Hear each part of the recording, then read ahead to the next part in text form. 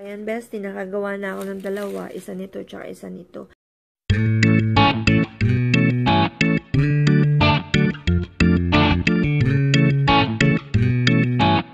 Hi, Best! This is me, Raquel, and welcome back to my channel. It's you and me. Today, ang ituturo ko po sa inyo, um, bali, review po siya. Um, ang i-review po natin ngayon ay tungkol po sa pool bow. Um, hindi siya pulbo. I mean, um, yung bang hilahin mo siya, tapos makakagawa ka na ng bow. Madali lang, napakasimple lang gawin. Panoorin nyo po ito. Po yung bow, um, hindi pa po siya gawa, pero um, alisin po natin siya sa plastic mamaya. Papakita ko po sa inyo kung paano siya gagawin. Um, different sizes po yan. May small, medium, and large.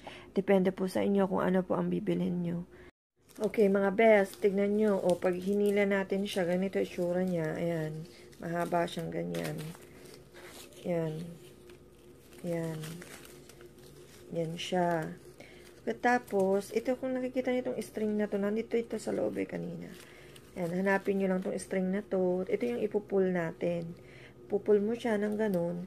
Pull lang siya ng pull. Hilahin lang natin siya. Tapos, magpo-form na yung ano niya, yung ribbon niya, yung bow.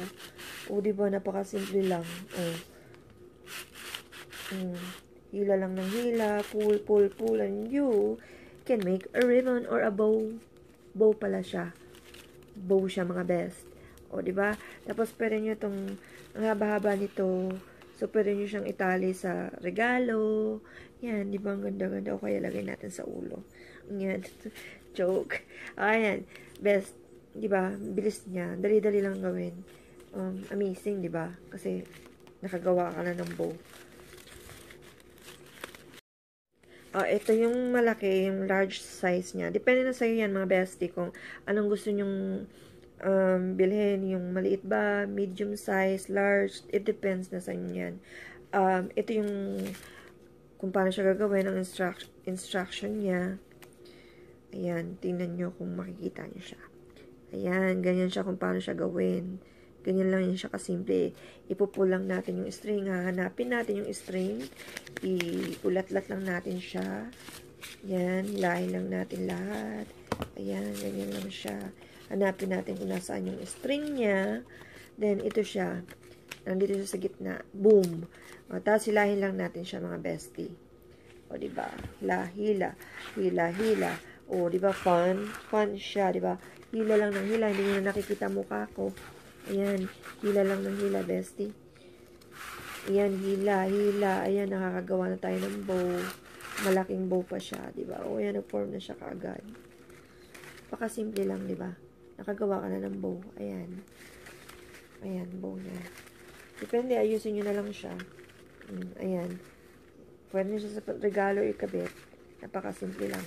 Ayan, tapos string nyo, kung ano na, bahala na kayo kung anong gagawin nyo sa kanya. Diba? Napakasimple lang mga bestie. Ayan, bestie, nakagawa na ako ng dalawa. Isa nito, tsaka isa nito. Hindi ko makita yung blue ko kung nasaan eh. Pero, yan, I show you already how to do it. Um, hila lang ng hila, ifo-full mo lang, makakagawa ka na ng bow. Diba? It's so fun, diba? Diba? Diba, diba, diba?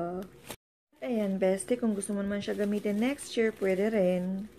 At ayan, bestie, kung gusto mo naman siya gamitin next year, pwede rin.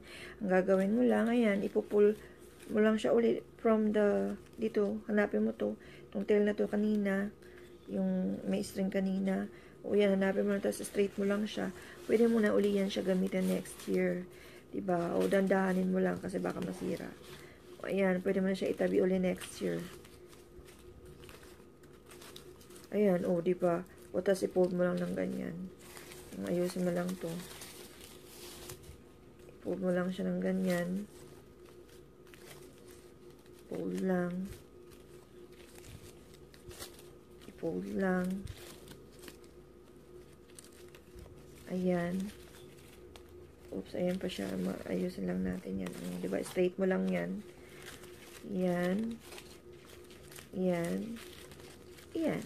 O, di pwede na siya next year uli. Di ba? Tipid-tipid pa. Pwede mo pang magamit uli. Basta mag-ingat lang kayo na hindi siya masira. Di ba? Magagamit pa natin siya uli for next year. Alright, guys. I hope may natutunan kayo. Nagustuhan niyo tong pull bow. Um, kasi fun, fun siya. Tsaka mabilis lang gawin din.